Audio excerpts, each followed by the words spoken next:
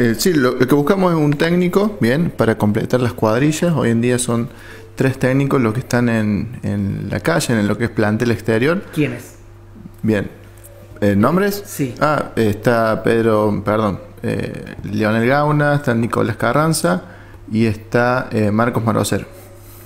¿Por qué técnicos tienen alguna capacitación especial, algún Sí, título? lo, lo hemos formado, lo hemos formado para justamente que pueda dar soluciones, bien, todo lo que es Bien. los servicios de internet, telefonía y televisión. Bien, o sea que buscan a alguien de ese rango.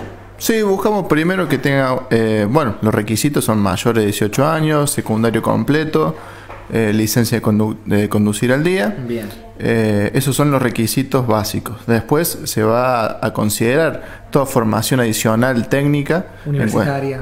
Sí, puede ser universitaria, puede ser técnica, lo que sea. Siempre apuntamos, obviamente, eh, en toda la recepción de los currículum, siempre vamos a, eh, digamos, valorar a aquellos que tienen la formación para el área, ¿no? Por ejemplo, redes informáticas, eh, parte de electrotecnia, lo que es redes IP, sistema de transmisión, etcétera, todo eso se valora. Bárbaro. Vi en el graph de, de CTV que usted es responsable del área.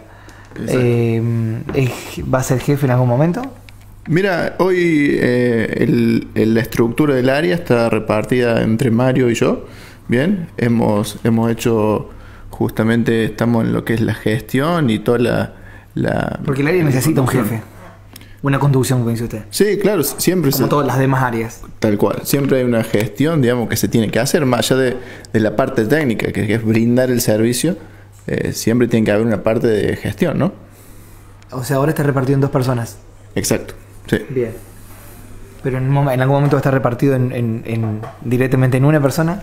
No lo, no lo podría decir hoy porque bueno, eso es parte de la organización de, de cooperativa, recursos humanos y demás. Bien. Estamos seguramente en todo este proceso de acomodarnos. Bárbaro. ¿Y esta persona eh, tiene tiempo para traer el CV hasta qué momento la persona interesada en ser parte del área? Bien, nosotros abrimos la búsqueda eh, la semana pasada y vamos a terminar la recepción el día 14 de ahora de agosto. Sería el lunes que viene, no, sería el próximo.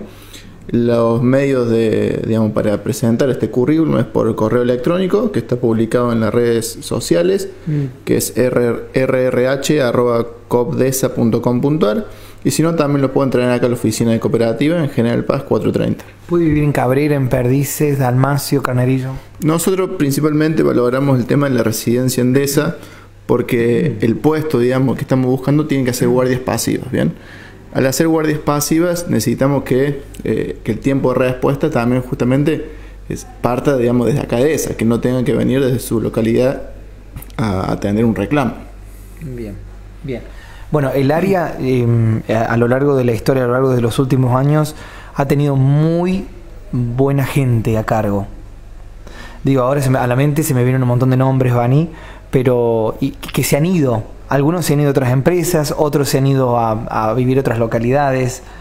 Digo, ¿ha habido baja en, en el último tiempo también? Porque hubo un tiempo que sí han tenido, y bajas importantes del área. Sí, bien, el área nosotros lo, lo que más valoramos son los que quedan, bien, los que quedan acá en cooperativa y que realmente puedan sumar a, a la institución. Bien, pero lo atribuyen a algo, a una, a una tremenda carga horaria, a responsabilidades que a veces no se toman, digo, porque tenés que estar muy atento también a lo que la gente te pida fuera de horario laboral también y en horario laboral. Nosotros para el tema de los servicios tenemos una guardia justamente que es la encargada de atender todo este tipo de, reclamos para atender al socio lo, mejor posible, ¿no? Eh, pero sí, nosotros siempre estamos en, a ver, tanto el, eh, no solo el área de comunicaciones, sino el resto de las áreas, siempre estamos atentos para darle lo mejor, el, el mayor tiempo posible a la cooperativa. Tienen un número de teléfono, nosotros lo tenemos acá a mano, pero eh, hay un celular, ¿no? De guardia. Sí, nosotros la guardia lo contactamos por el 40 57 000. Sí. Es el, el medio que tenemos de guardia. Después internamente nosotros lo derivamos a teléfonos celulares. Pero la idea es que justamente se concentre en el 40 57 000, que ahí lo orienta a los internos. Por el motivo que nos queda siempre el registro de cualquier llamado que tengamos, lo podemos bien canalizar. Si hay un llamado que no se atendió, por algún motivo que haya fallado la red celular, etcétera, nos queda la llamada que ingresó a nuestra central. Entonces, eh, es la única forma que podemos hacer ese seguimiento.